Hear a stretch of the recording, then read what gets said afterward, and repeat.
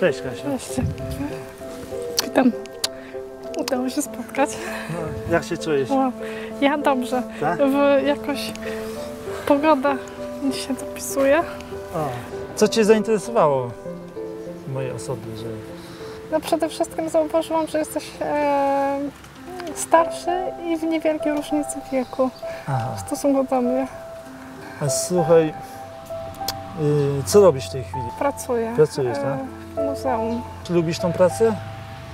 Lubię, ale też w międzyczasie pielgrzymuję do Częstochowy i też polubiłam też zarazem e, tereny wiejskie.